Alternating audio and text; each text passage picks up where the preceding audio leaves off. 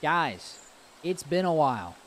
It's time. I want to get into this and show you what I've been working on. Uh, I've been taking a few courses with, uh, or a course with Unreal Sensei. Um, here's a scene that I've been working on through all the stuff that he's taught uh, in the course, and we'll basically there's going to be a few stages of this. One, I'm going to go over the the daytime scene, then I'm going to go over um, the nighttime scene, and then I'm going to explain everything that I have learned and done, and how I've set up different levels, um, as well as organizing out the files and things like that. Okay, so let's get into day the daytime. So here's the scene. Uh, I probably should have put my face on the other side here. Let me go and just move my face just just for this part real quick. So here's the daytime scene. Uh, maybe a little laggy. Um, I'm using nanite uh, meshes uh, right now, um, and most of the stuff in the scene. So here here it is. It's it's it's a desert town, and I'm I'm using the medieval assets uh, that that he recommended using throughout the course. Um, we'll just kind of go through the town here real quick. Try to move in, as, as slowly as possible, kind of give you an idea of kind of view of each one of the houses, some of the different uh, parts of the scene. We have a, a, blueprint that was pulled from the uh, one of the medieval packs that they have. See how the windmill's moving? Blueprint. Have a, sp a spine bridge. It's spline. Spline. Got more houses. Take you up here, check out the other windmill and stuff like that going in. Then we'll get the back view of this as well. A little bit more, what's that, grandiose? Is that a word? The little view from the back side of this town. Right? Speed it up. We'll go take us over here to the other the other side of the... Oh, I can't speed us up. Take us to the other side of the village over here. I've got a few other actually been really cool over there on the on the back end of it where that other windmill is. Make a some type of like farm garden of some kind, right?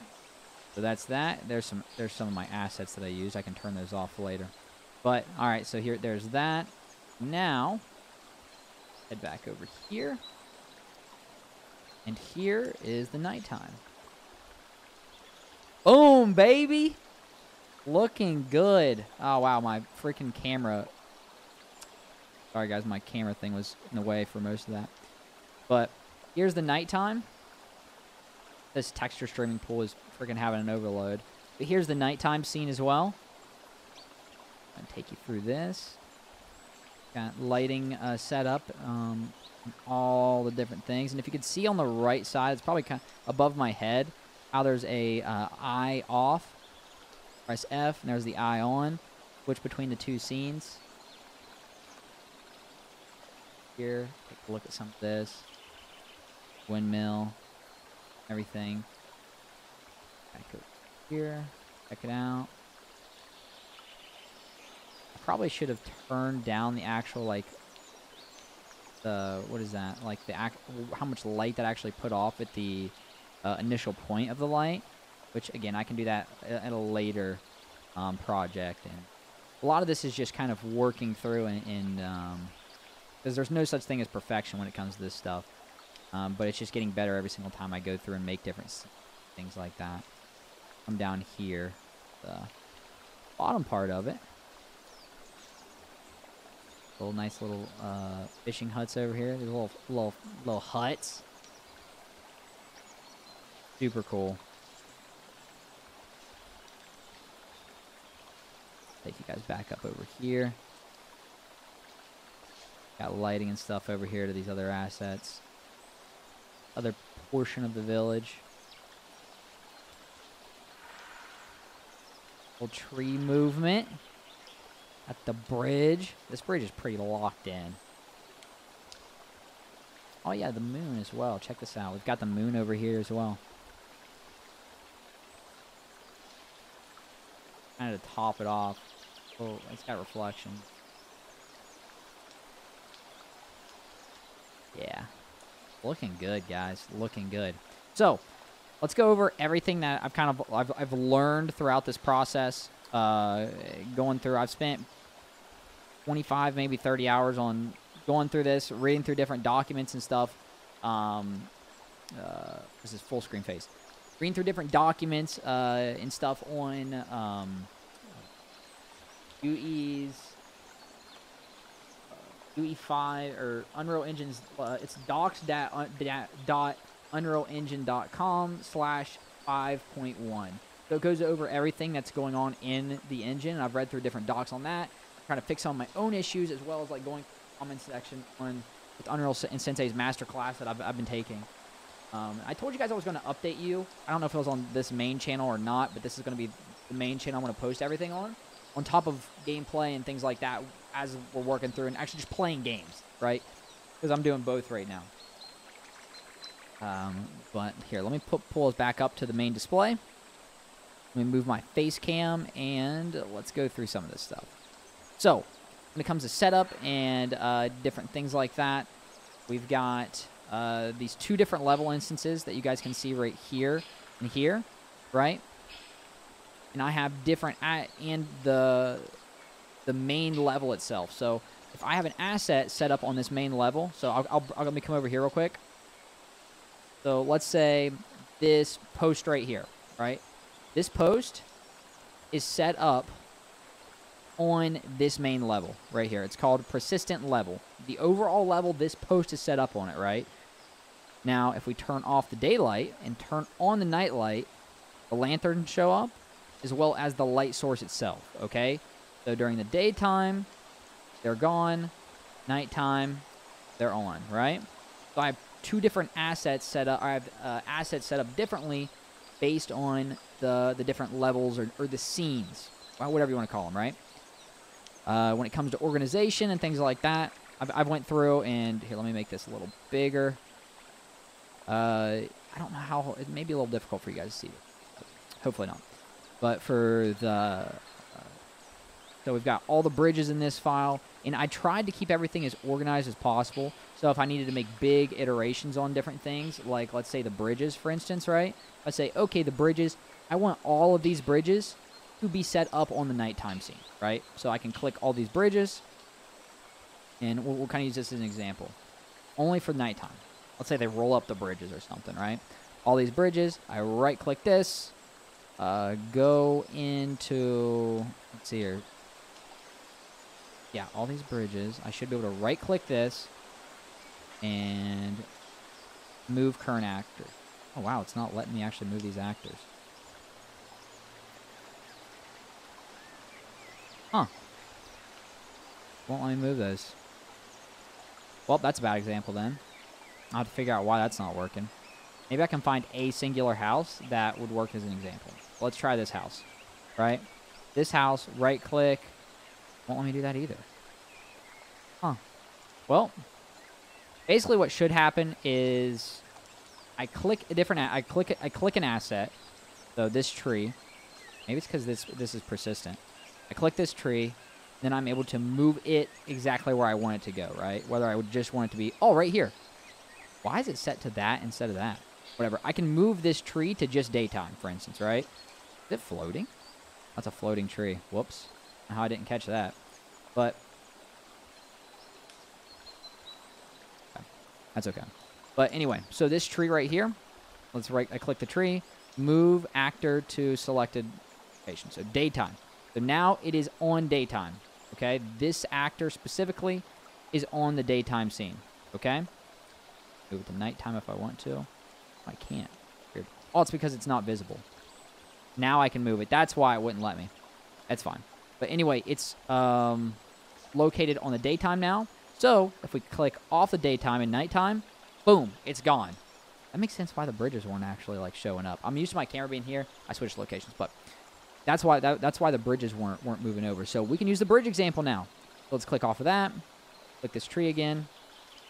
Click this tree. Let's move it back to the persistent level. So move this actor back to here so it'll work in both the nighttime and the daytime. Cool. So let's do the same thing. Whoa! I didn't know I could zoom in and out.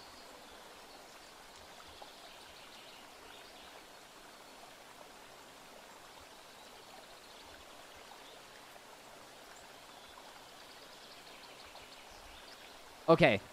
The Z key and the C key will zoom me in and out. That's cool. I didn't know that. Okay, cool. We're back. There's so many things with this engine that I, I learn every single time I, I roll up in this in this thing. So next, let's go into the, the this other thing that I've learned. So like I said, I have all these things pre-organized and stuff. We'll go back into um, click off of housing, click off of all the rock faces, bridges, here, select all these bridges. Now that nighttime is available, I'll move all of these actors into nighttime. Thinking about it, give it a sec. Having an aneurysm. Come on, baby. All right, we're back. We're back. So now, I select off of nighttime. All the bridges are gone. Nighttime is visible. Well, look at that. These uh, these little uh, the, the the the magical village people of the mountains, of the dusty mountains, create bridges at night, right? So that's something that's something else we can do. Let me toggle that back on. Click here to here. Let's move all these back to persistent. So it, whether it's daytime or nighttime, they're active. Okay. So for houses, um, we, we, we were taught modular design, which is super cool. Okay. What's modular design? Modular design is being able to take, let's say, these four walls, the door, and this fence piece right here. So, right? So, four walls, fence piece, a roof, and being able to create all of these different things. Like, see how this house is made up out of and I've grouped all these houses too. So let me move this house out real quick. Just as an example, and we'll just like control C, control C all the way back, right?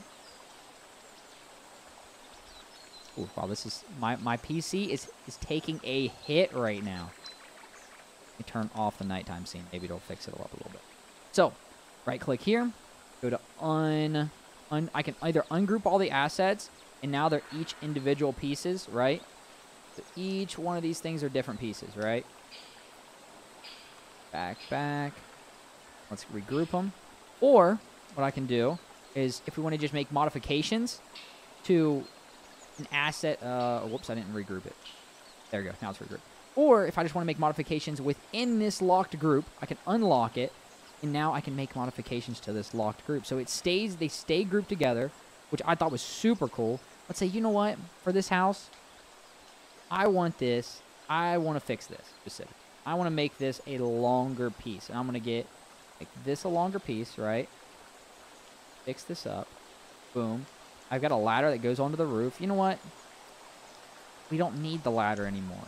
We'll get rid of that asset. Yes, yes. But boom, the ladder's gone. This is extended over. And I want, I want this piece of wood to be twice the size. So then we can we can make those changes. A girthy wood. How about it? Boom. You know what? This looks ridiculous, but that's okay. They they really messed up this house, guys.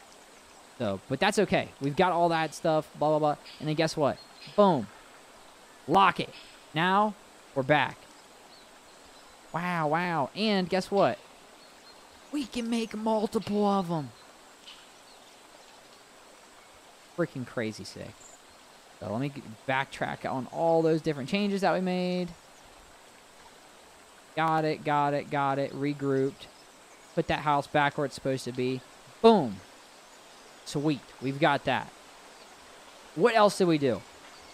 Let me turn off uh, nighttime. So, oh, check this out. So I thought this was sick. You actually have to... This is what it looks like on the opposite end of it, right? What this scene actually looks like is this. Isn't that wicked? So I don't. Apparently, this is whenever you use meshes and um, different static meshes or nanite meshes that have these like see-through things, you need to put objects like I use these.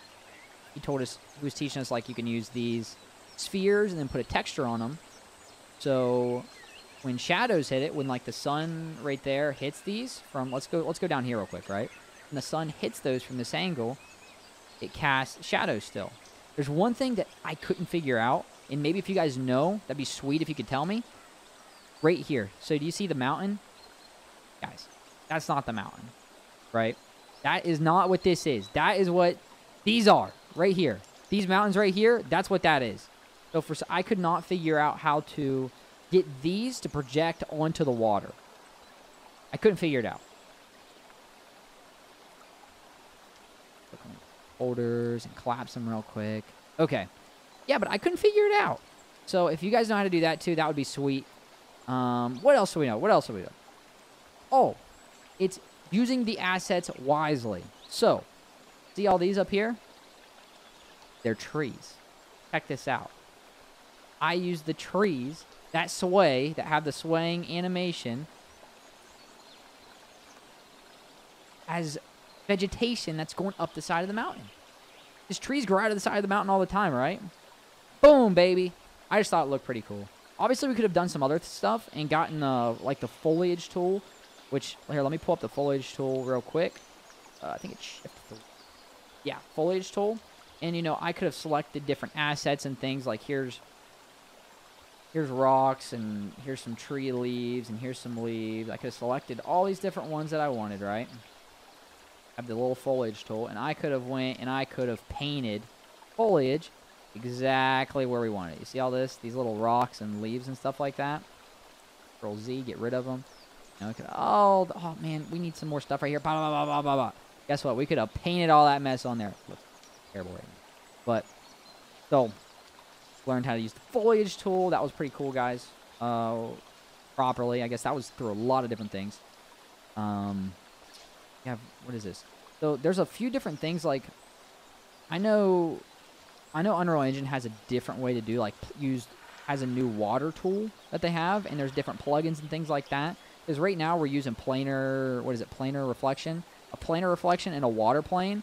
A water plane is just basically a flat I'll go underneath of this.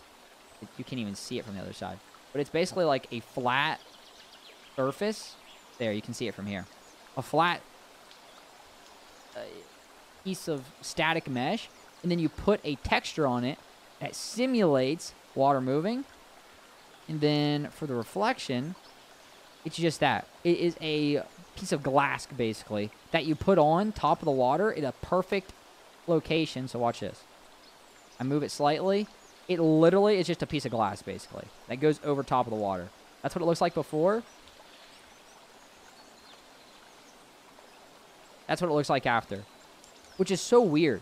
I know there's a better way that we can do that, and I, have seen different uh, videos and stuff. What, what, what I would like to do is get very good, because water, in my opinion, is top tier, right? Top tier if you get good water in a game. What game has great water? One, Assassin's Creed, the Assassin's Creed games. I would say all of them. I don't, I don't know. I haven't played past, um, what is it, Unity, but Assassin's Creed has it. Has a great one. Black Flag, fantastic, and and also Sea of Thieves, right? Great water. And they use, if I'm not mistaken, they use like collision, like when when when it collides with things, they use a 2D texture that like loosens some of the load on the PC itself to create the illusion of a splash with a 2D texture so it doesn't like bog down an Xbox or a PC or stuff like that. And I think that's the same thing with the new Need for Speed does as well, with like their like little neon lights and crap like that.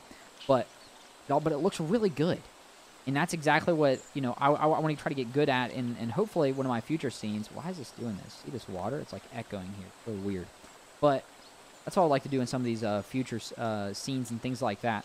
Um, what else? Oh, you know, we can mess with the lighting. You know, right here we can time of day, flip it around, make it look all good at different angles. And that was another thing we had to do is backtrack a few things. I really liked how the lighting was with that. Um, oh, combined these different assets. So a lot of these different assets are actually a blueprint mass created assets, right? So instead of grouping these, so there's a benefit too, right? So I created these using all these are made up of groups, so it can easily modify so they're so they're very modular, right? So I can easily modify it without going having to go into the blueprint itself to mess with the asset itself, right? I can just right click, it here, it unlock, and I can move these assets around freely, right? Cool. Well, with the mount, here, let me read. with the mountain, let's go into here. If, let's let's let's go over to these assets over here, right? Because I have all these hidden. With the mountain, where is it? Testing assets. Here we go. Make these visible. Okay, so here's a, all of these right here. All of this, right, is these. That's all it is. It's literally just these assets for all these mountains, which is crazy. Like, look how big this one is. This one is freaking monstrous, right?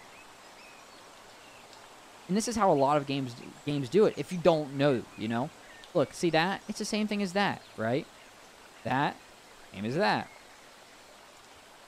Where's another one at? Same as that, that. But it's just giving you when there's so much going on in a scene. A lot of times people don't recognize or notice the variations of the terrain or that they are the same, right? Like this asset is the same as that one, right? But there's different variants of it and it's like twisted and turned and things like that. Well, let's go back over here. So what, how did we make, get, get to this, right? We got to this. So we use this piece right here, if I'm not mistaken. This piece, buddy. This piece? No, I think it was this piece. Wait, I, it was one of these two pieces. But anyway, let's just go into the blueprint itself so you can see how like a mass of a blueprint looks, right? Uh, construction viewport. So I should. Now it's been a minute. Yeah. Okay. Perfect. So instead of it being, so from my understanding, this is more performant doing it like this. And if, if anybody in the comments knows otherwise, let me know. But I'm pretty sure using a, a BP mass of objects is more performant and easier to pull um, and manipulate. Plus, it's easier to do in mass, right? So if I make a change to this one object, it'll make a change to all the objects in the world. I do know that. So, let's say with all the objects in the world, I want this piece right here be pulled out, right? So every object in the world now, and we're gonna, I'm gonna just do this to show you guys. Hmm, I hope I can put this back. Very well. Otherwise, it's gonna, I'm gonna look real dumb. But anyway, so this right here, right? I really don't want to, I don't, I don't want to. Here, let's do something that's not as in intrusive. So this right here, let's copy this. I can just drag this straight up, actually. So, uh, here, I'll drag a duplicate of it straight up. Did it work? Absolutely. I have like a little rock or something on this mess. Okay, here we go. So this, and uh, it's, is it not working? Guys? Oh, let me let me put it to world the world view instead. Alt drag. Okay, there we go. So now we have this one and this one. We have two different variants of this object. Fine for some. That's okay. Whatever. We'll, we'll, we'll compile this. Okay. We'll go back into this world. Boom. It's sticking out of this object right here. And let's find some more of these, right? So it automatically changes and uh, it will automatically change every object in the world that is using that other one. Boom. Here it is. Look. There it is sticking up out of the corner of that. Again, I used a ton of these. To find another one. There's a lot of these different planes and stuff like that. I mean, you guys get the idea, right? As long as you make modifications, that's a cool thing about, like, that's a cool thing about turning these into uh, these these blueprint like combined assets is I can make a change to this one and it will change all of them in the world. So it's the same thing with like these houses. If I made these houses and modified them into one of those assets and create instead of creating groups, which made it easier to modify on the fly, I could make this into this mass blueprint asset, which I can't remember the correct terminology. Again, if you know what the terminology is, please tell me.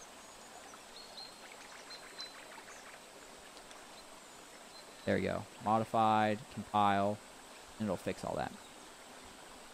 Um, and I could have made this to where all these houses that look like this, and I could have modified the chimney to go there, compiled it in that big mass blueprint, and all the chimneys would be fixed, right? Or if I wanted to apply a different visual effect to it or something like that, I should be able to do that in the blue in that in that mass blueprint as well. Let's say I have a hundred of these houses. It's not very realistic for me to grab groups of these houses and scatter these across the world, right? It's it's more realistic for me to get um, uh, this modified version of this house uh, in in, a, in like one blueprint and then make that change as a whole, right? Let's say I know that all the reflection, all the different all the different tiles on these houses, and let's say we have a daytime house and we have a uh, we have a daytime cycle, and we have a, an a inferno cycle in the map, right? To where the map is on fire. It's obviously a lot more realistic for me to just take this one house and this one tree and then make a mass blueprint of it to where when I modify it, it catches all those things, all those assets in the entire world automatically get modified. Way more time. Um, uh, it helps workflow, right? Cool. Um, what else we got here? Again, these are all these are the same the, the same object. I just grabbed it, modified it, stretched it out, messed with it. So bridges. This was super cool. And um, I, I want to learn how to make these, and hopefully within the tutorial section, he kind of goes over and how he just how to make these. I got you know I got these cool little lamps. I modified these lamps and turned these lamps into a um, is it converted ISM underscore into a, I converted this the, these were two separate pieces, right? I converted these two separate pieces into a static mesh, right? And then I just copied them throughout the world. So I think it's Control B. Yeah, it pulls it up. So SM lantern. I spell that lantern? Yeah, I spelled that right. Lantern post. Yeah, lantern post. What it, what it originally was was oh static mesh. You guys see these? I think you guys can. I, I know they're a little small for you guys because I'm on this ultra wide. And then we can go into content and type in lantern. What, it, what this originally was, was these two assets. So check this out. And this isn't just with this asset, it's with a ton of different things that I did in the world, right? Oh, that's that post again. Let's just type in post. I put port. Post. Mm, I think that it is wooden post. Here we go. This is what it was, right? Is this asset with, where's it at? This post. So these two big boys, and we turn it into these little, these little modular design people being smart with your assets. You know, I grabbed this. I shrunk this son of a gun down. I grabbed this, made it smaller, made it smaller, and then turned it. This is a very quick way of doing it, obviously. Drug it inside, and turned it uh, into its own little um, static mesh. Named it, and now whenever I want to, I can grab this son of a gun and put it in the world. Amazing. Amazing. Grab that. Get rid of all these. I can uh, grab them. There we go. Cool. Oh, splines. I think it's called spline. Let's put let's pull it up. Um, spline? I put pline. Maybe just bridge. Bridge. Bridge. Oh, I have it as stag mesh. Okay, bridge, BP, spline, bridge. So basically, this is crazy cool, and you can do this do this with fence. I want to learn how to do it with fences too. But what what it does is it has these three different static meshes. Okay, because if you can see this bridge, has more than just one pattern in this bridge, right? So here's two planks. You don't get the same two planks until right here, right? These two planks combined is right here. And it's also based on how this bridge is stretched and kind of moved around as well. Because I can grab this and I down this it's not very performant at all moving this stuff because it actually when I move this one piece of the bridge, it changes the textures of the whole bridge. Watch. See how it changed? Look right here at this bottom part of it. Watch this. See how it's changing those those different um, static meshes within the bridge to meet the criteria that I've kind of given it by grabbing the center of this point. And that's kind of what splines do. Is you can grab if you can create different objects I don't know what's up with this mountain. It's kind of whack. But you can create different objects and combine them together with different static meshes. or create a spline blueprint, right, or a blueprint, and then put different objects within that blueprint or static meshes objects, um, and then set your parameters to where it will change out those different static meshes based on how that object turns, moves, how long it is, and things like that. And you can set different parameters like that, and it's super cool. Super cool because it's easy for you or artists or, or uh, it's easy for artists environmental designers to mod- make modifications to the world and create things without me having to grab, you know, let's say this is 40 pieces of a bridge. Well, guess what? This is one bridge that can be moved around tugged and shuffled around to create this, which is incredible, right? And you can do this. The, I could do make a spline for a home, right? Or I could grab this and it would randomly like pull out and like, you know, create a triple decker house, you know, something like this, or you know what I mean. And I you can do that with so many different things, right? Um, so that's that's very very cool, and and it's the same thing with like you can do that with size modifications to objects, you know. So because I've been kind of going through a lot of this stuff in my head. This this bridge is kind of whack right now, but you know I can I could you do it with like side modifications. So like oh okay when the object gets so big with that mesh, um, then it will turn into different versions or variations of that object. I wonder how performant that is, or if that messes with performance um, long, like very incremental, you know, very incremental performance game. I, don't, I don't know. Again, if you guys know, that's please let me know in the comments.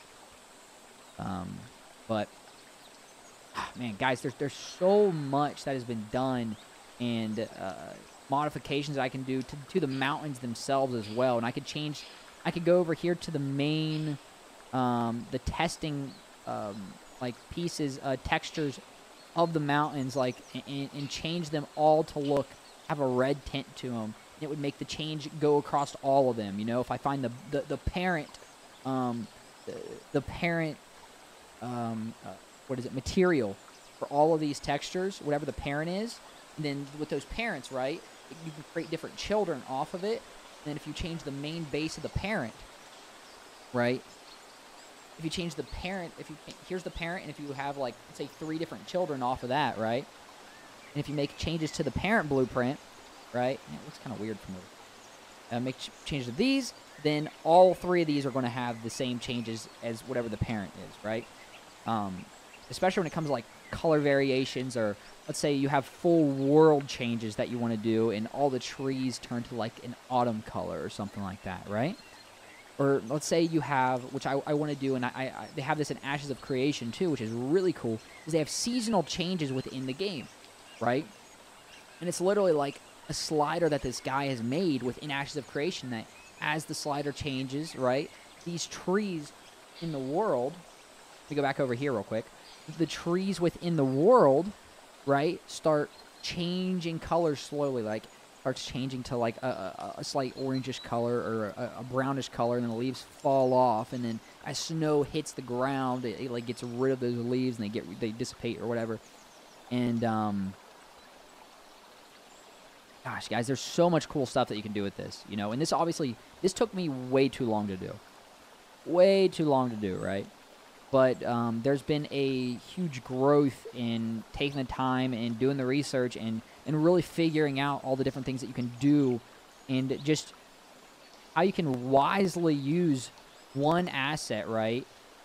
This one, like one asset for so many different things, right? I can very smart, very wisely use like this, right? For, for so many different things.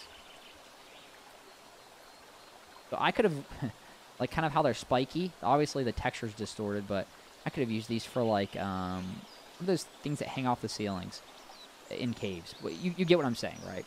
So, I think that's pretty much everything that I have to show you guys um, uh, for today. You know, obviously there's plenty of other things that we could have gotten into and made changes to, and I can make this scene darker. You know, nighttime nighttime lighting. Processing real quick, and let's turn this down a little bit, right? Um, so we could have made a lot of different changes and stuff to these worlds. But all in all, I think this was a big W and well worth the time and effort put in. Um, ooh. Guys, we're getting closer. We're getting closer. But thanks for watching. If you made it all the way through the 35 minute video of all the different changes and variations and everything that that's, that's been learned and just showing off this first um, village um, that uh, I finally ended up completing, um, give you a little thumbs up and make sure you stop by the stream here soon. We're going to be playing Hunt Showdown with the new event that's going on. So that and I'll probably be streaming a little bit of World of Warcraft too here soon. So peace out, guys. Till next time.